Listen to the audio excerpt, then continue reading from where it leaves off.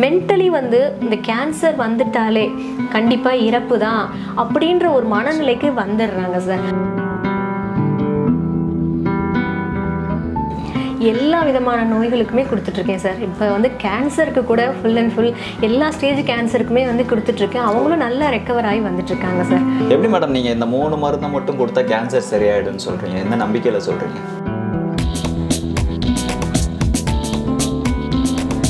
பொதுவாக வந்து நம்ம கேஸ் உடனே நம்மகிட்ட வந்துட்டாங்க அப்படின்னா வேமாவே நம்மளுக்கு ரிசல்ட் வேமா கொடுத்துட முடியும் சார் இல்லை அப்படின்னா வேறு ஸ்டீராய்ட்ஸோ ஆன்டிபயோட்டிக்ஸோ நிறைய எடுத்து அவங்க இம்யூன் சிஸ்டத்தை சப்ரஸ் பண்ணி வந்தாங்கன்னா அவங்களுக்கு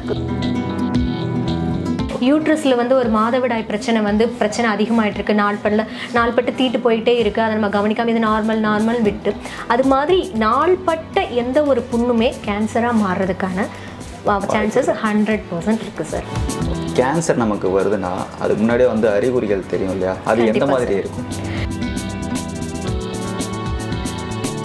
அதாவது கேன்சர் பேஷண்ட்டை பொ பொறுத்த வரைக்கும் என்னென்னா நான் ரொம்ப ஹெவியாக சாப்பிடாதீங்கன்றதை சொல்லுவேன் சார். அதில் மெயினாக கொஞ்சம் காஃபி மட்டும் அவாய்ட் பண்ண சொல்லுவேன் சார். நான் ஃபஸ்ட்டில் ஃப்ரீயாகவே கொடுத்தேன் சார் கேன்சருக்கு. அவங்கெல்லாம் எடுத்து ஓரமாக வச்சுட்டாங்க. இது நம்மளுக்கு எப்படி கேட்கும்? இவ்வளோ தூரம் மருந்து எடுத்து நம்மளுக்கு சரியாகலை. இது சரியாக போகுதா? அப்படின்னு. ஆனால் எடுத்து பார்த்து ரிசல்ட் நல்லா இருக்குன்னு சொன்னவங்க நிறைய பேர் சார்.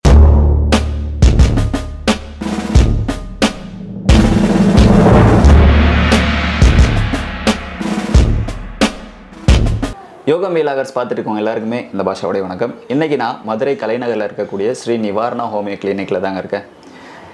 இப்போ இருக்கிற காலகட்டத்தில் பார்த்திங்கன்னா ஹோமியோபதியில் பல மிராக்கள் நடந்துட்டு வந்துட்டுருக்குங்க. ஸோ அந்த வகையில் கேன்சர் எந்த லெவலில் இருந்தாலும் அதை ஹோமியோபதி மூலியமாக ட்ரீட்மெண்ட் கொடுத்து அதை குணப்படுத்திட்டு வந்துட்டுருக்குறாங்க. ஸோ இப்போ நம்ம அவங்கள தான் தேடி வந்திருக்கிறோம். கேன்சருக்கு மட்டும்தான் வந்து இவங்க ட்ரீட்மெண்ட் கொடுக்குறாங்களா? இல்லை வேறு எந்தெந்த நோய்களுக்கு அவங்க ட்ரீட்மெண்ட் கொடுக்குறாங்கங்கிறத நம்ம அவங்கக்கிட்டே கேட்டு தெரிஞ்சுக்கலாம். வாங்க. வணக்கம் மேம். வணக்கம் சார். எப்படி இருக்கீங்க? நல்லா இருக்கேன் சார். மேடம் உங்களை பற்றி கொஞ்சம் அறிமுகப்படுத்திக்கங்க என்னோட பேர் டாக்டர் விஜய் பிரகாஷ். நான் ஹோமியோபதி ஃபிசிஷியன் இங்கே நம்ம கவர்மெண்ட் ஹோமியோபதி மெடிக்கல் காலேஜ் திருமங்கலத்தில் தான் சார் என்னோட டிகிரி பேச்சுலர் டிகிரி முடித்தேன் பிஹெச்எம்எஸ் அங்கே தான் கம்ப்ளீட் பண்ணேன். இப்போ டூ இயர்ஸாக நான் வந்து ப்ராக்டிஸ் பண்ணிகிட்டு இருக்கேன் சார். ஓகே நீங்கள் எந்த நம்பிக்கையில் இந்த கோர்ஸ் எடுத்து பண்ணிட்டு இருக்கீங்க இல்லை என்னடா இவன் திடீர்னு இப்படி கேட்குறான்னு நீங்கள் நினைக்காதீங்க. அதாவது மக்கள் மத்தியில் பார்த்தீங்கன்னா இந்த ஹோமியோபதிக்கு வந்து ஒரு நல்ல வரவேற்பே இல்லாமல் இருக்குது ஸோ அதுக்கு என்ன காரணம் நான் தெரிஞ்சுக்கலாமா? சரி எனக்கே வந்து இதை எடுத்து படிக்கிறப்ப டாக்டருக்கு படிக்கிறோம். ஏன்னா ஆக்சுவலாக மேரேஜ் முடிச்சு ஒரு குழந்தை பிறந்ததுக்கப்புறம் தான் அந்த டிகிரியே நான் எடுத்து படித்தேன். அப்போ ஒரு நம்பிக்கையில் ஒரு டாக்டர் படிக்கணுன்றதுல தான் படித்தேன். எனக்கு ஃபஸ்ட்டு எப்போ நம்பிக்கை வந்துச்சு அப்படின்னா எங்கள் அப்பா ஆக்சுவலாக ஹார்ட் பேஷண்ட் அவங்களுக்கு வந்து ஃபுல் அண்ட் ஹார்ட் பிளாக் ஆயிடுச்சு. இனி சர்ஜரி பண்ணாலும் வேஸ்ட்டுன்ற சுச்சுவேஷனில் இருந்தார். இன்னும் ஒன் ஆர் டூ மந்த்ஸ் தான் அப்படின்ற கண்டிஷனில் இருந்தாங்க. அப்போ என்னோட ஹோமியோபதி மெடிசின்ஸை நான் வந்து ஏன்னா அதாவது ரெண்டு மாதத்துக்கு கொடுத்து பார்ப்போமே ட்ரை பண்ணி பார்ப்போமே அப்படின்னு சொல்லி கொடுக்க ஆரம்பித்தேன் கொடுக்க ஆரம்பித்து அவர் ஃபைவ் இயர்ஸ் வரைக்கும் நல்லா வந்து ஹெல்த்தியாக இருந்தார். அதனால் அப்போ தான் எனக்கு நம்பிக்கையே எனக்கு ஹோமியோபதியில் வர ஆரம்பிச்சிச்சு. அதுக்கப்புறம் இது ரொம்ப டெப்த்தாகவும் படிக்க ஆரம்பித்தேன் ரொம்ப அதிகமாக டெப்த்தாகவும் படிக்க ஆரம்பிச்சேன் சூப்பர் மேம். அதாவது நீங்கள் ஹோமியோபதி முடிச்சதுக்கப்புறம் உங்களுடைய ஃபஸ்ட்டு பேஷண்ட்டே வந்து உங்கள் அப்பா தான் சொல்லலாம் sir okay okay. Super ma'am. Okay நல்ல ரிசல்ட்டு கொடுக்குதுன்னு கொடு ஐ மீன் அவங்களுக்கு க்யூர் ஆனதுக்கப்புறம் தான் அது மேலே ஃபுல் அண்ட் ஃபுல்லாக உங்களுக்கு வந்து ஒரு கண்டிப்பா இன்ட்ரெஸ்ட் சார் கண்டிப்பா. ஏன்னா பெரிய பெரிய டிசீஸ்க்கு நம்ம எடுக்கிறப்பயே எல்லாருக்குமே ஒரு பதம் பயம் பதட்டம் வரும். அதுவும் நான் என்னோட அப்பா அப்படின்றப்ப ஒரு ஐயோ நம்ம தப்பா கொடுத்துருவோமோ செஞ்சிருவோமோன்ற ஒரு பயம் இருக்கும். இருந்தாலும் நம்ம அப்பாவை காப்பாற்ற துணிஞ்சு நீங்கள் கொடுத்துருக்கீங்க பார்த்தீங்களா கண்டிப்பா ரொம்ப பெரிய விஷயம். ஓகே மேம் இந்த ஹோமியோபதி ட்ரீட்மெண்ட்டில் வந்து எந்தெந்த மாதிரியான நோய்களுக்கு நீங்கள் ட்ரீட்மெண்ட் கொடுத்துருக்கீங்க? எல்லா விதமான நோய்களுக்குமே கொடுத்துட்ருக்கேன் சார் இப்போ வந்து கேன்சருக்கு கூட ஃபுல் அண்ட் ஃபுல் எல்லா ஸ்டேஜ் கேன்சருக்குமே வந்து கொடுத்துட்ருக்கேன். அவங்களும் நல்லா ரெக்கவர் ஆகி வந்துட்டுருக்காங்க சார் ஓகே மேடம் உங்கள்கிட்ட இன்னொரு கேள்வி. மனிதர்களுக்கு நோய்கள் எப்படி உருவாகுது? ஏன்னா நோய்கள் எப்படி உருவாகுதுன்னு தெரிஞ்சால் தான் அதுக்கு நம்ம ட்ரீட்மெண்ட் எடுத்துக்க முடியும். ஸோ அதுக்காக அதாவது மனிதர்களுக்கு நோய் இப்போ வந்து நம்ம வாழ்கிற இதுலேயே வந்து நீங்கள் நிறைய பாக்டீரியா வைரஸ் சுற்றி தான் நம்ம காற்றுல இருக்குது ஆனால் நம்ம எல்லாருமே நோய் நோய்வாய்ப்படுறோமான்றது கிடையாது. என்னை பொறுத்த வரைக்கும் எப்போ ஒரு மென்டல் ஸ்ட்ரெஸ் மன அழுத்தம் ஏதோ ஒரு மன அழுத்தமோ ஃபிசிக்கல் ஸ்ட்ரெஸ்ஸோ ஏற்படுறப்ப தான் நம்மளுக்கு நோய் உருவாகுது சார் நம்மளுக்கு உடம்புலேயே வந்து நீங்கள் பார்த்தீங்கன்னா ஃபிசியாலஜிக்கலாகவும் கெமிக்கல் ரியாக்ஷனும் நிறைய ஹார்மோன் செக்ரீட் ஆகுது. ஒரு மென்டல் ஸ்ட்ரெஸ் ஏற்படுறப்ப என்ன ஆகுதுன்னா அதில் ஏற்படுற மாறுதல்கள்னால தான் நோய் ஏற்படுது sir okay okay ma'am okay ma'am நீங்கள் இப்போ ஹோமியோபதி ட்ரீட்மெண்ட் கொடுத்துருக்கீங்க. இந்த ஹோமியோபதி ட்ரீட்மெண்ட்டில் வந்து ரிசல்ட் எத்தனை நாளில் கொடுக்க முடியும்? சார் ரொம்ப ஃபாஸ்ட்டாகவே நம்ம கொடுக்க முடியும் சார். அக்யூட் கேசஸ் ஆகட்டும் கிரானிக் கேசஸ் ஆகட்டும் எல்லாத்துக்குமே வந்து நம்ம ரிசல்ட்ஸ் வேகமாக கொடுக்க முடியும். இப்போ நீங்கள் அதான் நான் அதாவது சார் இதில் பொதுவாக வந்து நம்ம கேஸ் உடனே நம்மகிட்ட வந்துட்டாங்க அப்படின்னா வேகமாகவே நம்மளுக்கு ரிசல்ட் வேகமாக கொடுத்துட முடியும் சார்.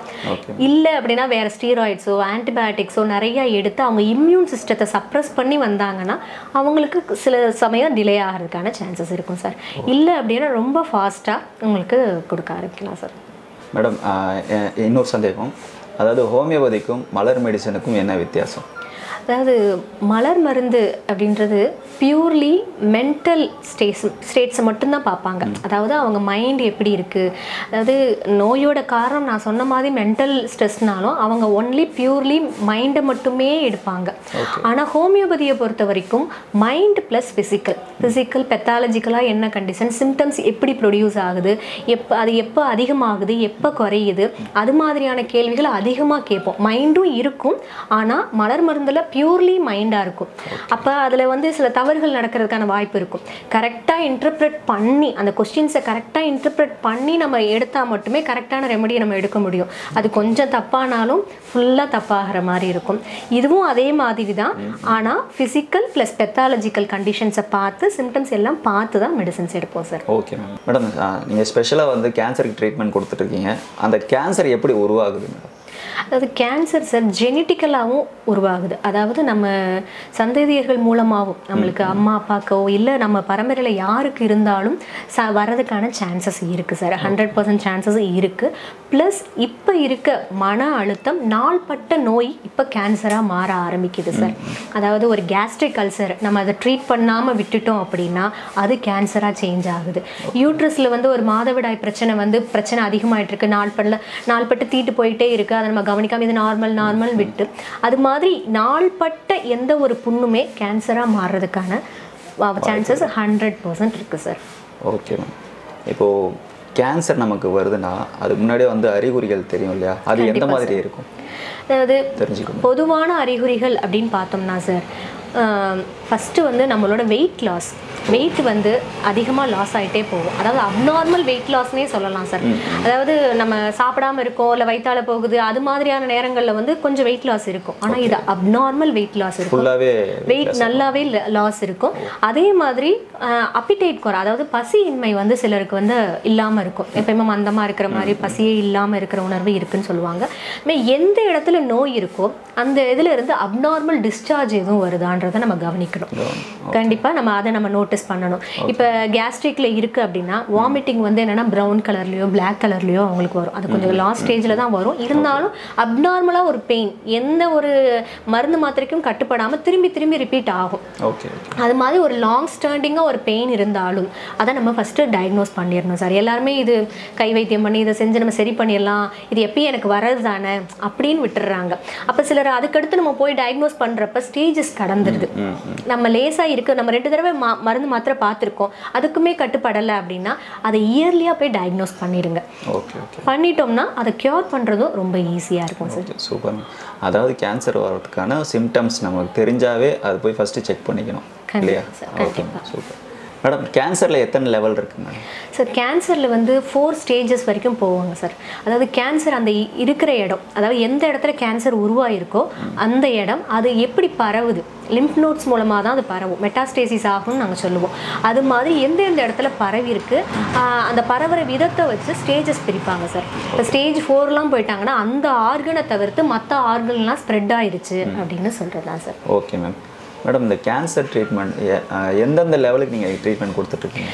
சார் இப்போ கடைசியாக கூட ஃபைனல் ஸ்டெப் ஸ்டேஜ் ஃபோர் வந்தவங்க சார் ஒரு seventy two years old okay okay அவங்களுக்கு ஆக்சுவலாக ப்ராஸ்டேட்டிக் கேன்சர் இருந்துச்சு. ப்ளஸ் அவங்களுக்கு ஃபுல்லாக ஸ்பைனல் கார்ட்லேயும் பரவிருச்சு. ஃபுல்லாக பரவிருச்சு. அவங்க வந்து பெட் ரிட்டன் அதான் பெட் ரிட்டன் மீன்ஸ் ரொம்ப பெயின் அவங்களுக்கு ஸ்பைனல் கார்டுனால முதுகு வலி ரொம்ப வலி. அவங்களால அவங்களோட வேலையை ஒரு ஆள் துணை இல்லாமல் செய்ய முடியாது. அந்த கண்டிஷனில் தான் எங்கிட்ட வந்திருந்தாங்க. ஆன்லைனில் தான் கன்சல்ட் பண்ணாங்க. அவங்களுக்கு நான் மெடிசன் அனுப்பி வச்சுருந்தேன். ஃபிஃப்டீன் டேஸ் தான் ஃபஸ்ட்டு அனுப்பிச்சிருந்தேன். இப்போ ஃபிஃப்டீன் டேஸ் கழிச்சு அதாவது ப்ராஸ்டேட்டிக் ஸ்பெசிஃபிக் ஆன்டிஜென்னு சொல்லுவாங்க சார் அந்த ப்ராஸ்டேட் கேன்சர் இருக்கவங்களுக்கு செக் பண்ணி பார்ப்பாங்க. அவங்களுக்கு ஆக்சுவலாக அது first forty five point eight இருந்தது. இப்போ இந்த ஃபிஃப்டீன் டேஸ் மெடிசன் எடுத்ததுக்கப்புறம் அவங்களுக்கு five point eight five point எயிட்னு reduce ஆயிடுச்சு. டாக்டர் ஏற்கனவே அவங்க காமிச்சிட்டு இருந்தவங்களே எப்பயும் நடந்து போக மாட்டாங்களா? யாராவது கூட்டிட்டு போறவங்க இப்போ அவர் அவரே நடந்து போய் கிளினிக்ல உட்காந்தோன்னே அவங்களுக்கே ஆச்சரியம். அவங்க பக்கத்துல இருக்க அலோபதி கிளினிக்ல தான் பொதுவாக காமிச்சிட்டு இருந்தாங்க. அவங்களுக்கே ரொம்ப ஆச்சரியம். எப்பயுமே நீங்க ஆள் துணையோட தானே வருவீங்க நீங்க இப்ப தனியா வரீங்களே சார் அப்படின்னு. அதனால ஸ்டேஜஸ்ன்றது இப்ப கணக்கு இல்லை சார் அவங்க வந்து ஹெல்த்தியா ஓரளவு அவங்க ஸ்டேபிளா இருந்தாங்கனாலே அவங்க இம்யூனிட்டியை நம்ம ரைஸ் பண்ணோம்னாலே கேன்சரை வந்து நம்ம படிப்படியா ரெக்கவர் பண்ணிடலாம் சார் மேடம் நீங்கள் கொடுக்குற இந்த ட்ரீட்மெண்ட் அதாவது மெடிசன்ஸ்க்கு வந்து உணவு பற்றிய முறை ஏதாவது இருக்கா? உணவு பத்திய முறைன்றதை விட அதாவது கேன்சர் பேஷண்ட்டை பொ பொறுத்த வரைக்கும் என்னன்னா நான் ரொம்ப ஹெவியாக சாப்பிடாதீங்கன்றத சொல்லுவேன் சார். இந்த நான்வெஜ் அது மாதிரி ரொம்ப ஹெவியான ஃபுட்ஸ் வேண்டாம். நான் மருந்து கொடுக்குற வரைக்கும் வேண்டாம். ஏன்னா அது டைஜஷன் ப்ராப்ளம் எல்லாமே ஏன்னா அவங்களுக்கு அப்பிடேட் லாஸாக இருக்கும் எல்லாம் இருக்கும். ரொம்ப ஹெவியானது வேணாம். வேகமாக செரிமானம் ஆகிற உணவுகளை நீங்கள் எடுத்துக்கோங்கன்னு சொல்லுவேன் சார். அதில் மெயினாக கொஞ்சம் காஃபி மட்டும் அவாய்ட் பண்ண சொல்லுவேன் சார். ஏன்னா எங்கள் மெடிசனுக்கு வந்து காஃபி ஆன்டிடோட் பண்ணும். சில மெடிசின்ஸை காஃபி ஆன்டிடோட் பண்ணும். அதனால் காஃபியை மட்டும் அவாய்ட் பண்ண சொல்லுவேன் sir. Okay ma'am okay madam இந்த ட்ரீட்மெண்ட்டுக்கு அப்புறம் அந்த பேஷண்ட்டே தனியாக நடந்து போகிற லெவலுக்கு நீங்கள் வந்து தயார்படுத்திட்டீங்க. ரொம்ப பெரிய விஷயம் நல்ல விஷயம் மேடம் நீங்கள் எந்த மாதிரியான மெடிசன் நீங்கள் கொடுக்குறீங்க? Sir full and full homeopathy medicines மட்டும்தான். எங்களோட மெடிசின்ஸ் பார்த்தீங்க அப்படின்னா இது மாதிரி பில்ஸில் தான் இருக்கும் சார் ஓகே இது மாதிரி பில்ஸ் பவுடர் ஃபார்மில் இருக்கும் சார் அவங்களுக்கு கான்ஸ்டியூஷனலாக கொடுக்குறப்ப சில மெடிசன் வந்து சிங்கிள் டோஸ் கொடுப்போம். எங்களோடதுல என்னன்னா இந்த ஒரு மருந்தோட ஆக்ஷனே வந்து forty five days sixty days வரைக்குமே அந்த மெடிசனோட ஆக்ஷன் இருக்கும். அப்போ என்ன பண்ணோம்னா அந்த சிங்கிள் டோஸ் தான் நாங்கள் கொடுக்க முடியும். அது மாதிரி சிங்கிள் டோஸாகவும் இந்த பவுடர் ஃபார்மில் கொடுப்போம். சிலருக்கு தேவைப்பட்டுச்சுன்னா இந்த லிக்விட் ஃபார்ம்லையும் நாங்கள் கொடுப்போம் சார் இந்த மூணு விதமான மெடிசன்ஸ் தான் மேக்ஸிமம் வந்து இருக்கும் சார் ஆமாங்க சார் ஓகே மேம் இப்போது பேஷண்ட்ஸ் வந்து ரா- அஹ், ஏதாவது உங்ககிட்ட ட்ரீட்மெண்ட் பண்ணிங்கன்னா நேரில் தான் வரணுமா? இல்லை சப்போஸ் அவங்க வர முடியாத நிலைமையில இருந்தால் அவங்களுக்கு ஃபோன் மூலயமா? இப்போ பொதுவாக கேன்சர் பேஷண்ட்டு ஸ்டேஜஸ் கூட கூட அவங்கனால வந்து ட்ராவலிங் பண்ணுறது ரொம்ப கஷ்டமாக இருக்கும் சார் அதனால் மேக்ஸிமம் வந்து ட்ராவலிங் பண்ணி வர்றவங்கள ஓகே அப்படியே இல்லைனாலும் அந்த பேஷண்ட்டை ஃபோன் மூலமாகவே நான் காண்டாக்ட் பண்ணி அவங்களோட சிம்டம்ஸை ஃபுல்லும் கேட்டுட்டு நான் அவங்களுக்கு மெடிசின்ஸ் கொரியர் பண்ணி வச்சுருவேன் சார் ஓகே இது இதுக்கு முன்னாடி அந்த மாதிரி ஏதாவது நிறைய கேசஸ் ஆன்லைனில் தான் சார் நான் கொடுத்துட்ருக்கேன் நான் ஏன்னா நிறைய பேஷண்ட்ஸ் இப்போ வர்றவங்க எல்லாமே ஸ்டேஜஸ் கடந்து தான் அதான் சொல்கிறேன்ல சார் இயர்லி டயக்னோசிஸை மிஸ் பண்ணிடுறாங்க. அப்போ என்ன ஆகுறாங்க அப்படின்னா அவங்க மொத்தமாக ஃபிசிக்கலாக வந்து ரொம்ப வீக்னஸ் ஆயிடுறாங்க. மென்டலி வந்து இந்த கேன்சர் வந்துட்டாலே கண்டிப்பாக இறப்பு தான் அப்படின்ற ஒரு மனநிலைக்கு வந்துடுறாங்க சார் அப்போ என்ன ஆயிடுறாங்கன்னா மென்டலி வீக் ஆயிடுறாங்க. அதனால் ஃபிசிக்கலாகவும் அவங்க ரொம்ப வீக் ஆயிடுறாங்க. அவங்க வீ அதாவது அவங்க மட்டும் இல்லாமல் அவங்க குடும்பத்தாரும் பார்த்தீங்கன்னா நீங்கள் வர்றப்பயே ரொம்ப அவங்க அவங்க அதை அதை விட ஸ்ட்ரெஸ்ஸாக இருப்பாங்க. தன்னோட தாய்க்கு இப்படி ஆயிடுச்சு தந்தைக்கு இப்படி ஆயிடுச்சுன்னு சொல்லிட்டு அவங்க வந்து அந்த அளவு மென்டல் ஸ்ட்ரெஸ்ஸோட தான் வராங்க சார் அதனால அவங்க மென்டலி ஃபிசிக்கலி வீக்காக இருக்கிறப்ப மேக்ஸிமம் நீங்கள் ஆன்லைன்லேயே நீங்கள் பாருங்கள் உங்களால முடியும் அப்படின்னா கூட்டிட்டு வாங்கன்னு சொல்லுவேன் சார் சூப்பர் சூப்பர். அதாவது கேன்சருங்கிறது ஒரு பயப்பட வேண்டிய ஒரு வியாதியே இல்லைங்க. ஏன்னா கேன்சர் சரிப்படு சரி பண்ணிடலாம் டாக்டர் சொல்லுவாங்க சப்போஸ் அவங்களுடைய பயம்தான் அதுக்கு ஃபஸ்ட்டு வந்து ஒரு எதிரியே. அவங்க பயந்து பயந்தே வந்து ஐயோ நம்ம செத்து போயிடுவோமே அப்படின்னு. அவர் நோயாளி மட்டும் அந்த மாதிரி நினைக்கிறது இல்லாமல் அவங்கள சுற்றி இருக்கிறவங்களும் அதே மாதிரி மூஞ்ச சோகமாக வச்சுக்கிட்டு அவங்கக்கிட்ட ஒரு அனுதாபமாக நடந்துகிட்ருப்பாங்க ஸோ அவங்களும் ஃபீல் பண்ணுறத பார்த்து பேஷண்ட் இன்னும் கொஞ்சம் பெரிய நோயாளி ஆயிடுறாங்க. ஸோ அதனால் கேன்சரை பார்த்து நீங்கள் பயப்படாதீங்க. கேன்சருங்கிறது ஒரு குணப்படுத்தக்கூடிய ஒரு நோய் தான். கேன்சர் வந்துச்சுன்னா அவங்க வந்து லட்சக்கணக்கில் செலவு பண்ணி இவ்வளோ மாத்திரை மாத்திரைகளை வாங்கி சாப்பிட்றத நான் பார்த்துருக்கேன். பட் ஆனால் இவங்க சொல்கிறாங்க கேன்சருக்கு இந்த மூணு மட்டும் போதும் அப்படின்னு. இந்த மூணு மட்டும் போதுமா? அவங்களால நம்ப முடியுதா? ஏன்னா என்னால் நம்ப முடியல. அதை அவங்கக்கிட்டே கேட்பேன் எப்படி மேடம் நீங்கள் இந்த மூணு மருந்தை மட்டும் கொடுத்தா கேன்சர் சரியாயிடும்னு சொல்கிறீங்க எந்த நம்பிக்கையில் சொல்கிறீங்க அதாவது சார் எல்லாருமே இது மாதிரி தான் சார். இது சரி பண்ணுமா? இது என்ன இத்தினோடு இத்தனை உருண்டை உருண்டையா இருக்கு? நாங்க டப்பா டப்பாவா வாங்கி சாப்பிட்றோம் அதே சரியாக மாட்டேங்குது. இது எப்படி சரியாகும் தான் நிறைய பேர் நான் ஃபர்ஸ்ட்லாம் ஃப்ரீயாவே கொடுத்தேன் சார் கேன்சருக்கு. அவங்கெல்லாம் எடுத்து ஓரமா வச்சுட்டாங்க. இது நம்மளுக்கு எப்படி கேட்கும்? இவ்வளோ தூரம் மருந்து எடுத்து நம்மளுக்கு சரியாகலை இது சரியாக போகுதா அப்படின்னு. ஆனால் எடுத்து பார்த்து ரிசல்ட் நல்லா இருக்குன்னு சொன்னவங்க நிறைய பேர் சார். அதாவது பொதுவாக இந்த மெடிசின்ஸ் அப்படின்னா இந்த மெடிசனோட ஆக்ஷன்ஸ் உள்ள இருக்க அந்த மெடிசனோட ஆக்ஷன்ஸ் வந்து அதிகமாக இருக்கும் சார் ஒவ்வொருத்தவங்க அதே மாதிரி எல்லா கேன்சருக்கும் ஒரே மருந்தானா கண்டிப்பாக கிடையாது சார் இப்போ இந்த இந்த மருந்து இதில் கலக்கிற மருந்துகள் வேறுபடும். இந்த ஃபார்ம் வந்து ஒன்றா தான் இருக்கும் ஆனால் இதில் கலக்கிற மருந்துகள் வேறுபடும். ம், ஆனா கொடுக்குற மருந்துகள் இதுதான் சார் இதுக்கு மேலே கொடுக்க மாட்டேன். பில்ஸ் வேணா அதிகமாக கொடுப்பேன் பவுடர் வேணா அதிகமாக கொடுப்பேன் லிக்விட் அதிகமாக கொடுப்பேன். ஆனால் இதுதான் எங்களோட மருந்து சார் ஓகே மேம் இவ்வளோ நேரம் பொறுமையாக இருந்து நான் கேட்ட கேள்விக்கெல்லாம் கேன்சர் சம்மந்தப்பட்ட விஷயங்களுக்கெல்லாம் நான் சில சந்தேகங்கள் கேட்டேன். அதுக்கெல்லாம் நீங்கள் தெளிவாக பொறுமையாக பதில் சொன்னீங்க. மேம் ரொம்ப நன்றி. நன்றி சார் இன்னும் அடுத்தடுத்து வரக்கூடிய நோயாளிகளுக்கு உங்கள் கையால் ட்ரீட்மெண்ட் பண்ணி அவங்க எல்லாருக்குமே சரியாகணும். அதுக்கு எங்கள் சார்பாகவும் எங்கள் டீம் சார்பாகவும் உங்களுக்கு வாழ்த்துக்கள். தேங்க்யூ சார் நன்றி நன்றி மேம் இந்த வீடியோ ஃபுல்லாக நீங்கள் பார்த்துருப்பீங்கன்னு நினைக்கிறேன். ரொம்பவே யூஸ்ஃபுல்லாக இருந்திருக்கும். நீங்களோ உங்கள் உறவினர்களோ உங்கள் நண்பர்களோ கேன்சரெல்லாம் பாதிக்கப்பட்டிருக்கீங்களா?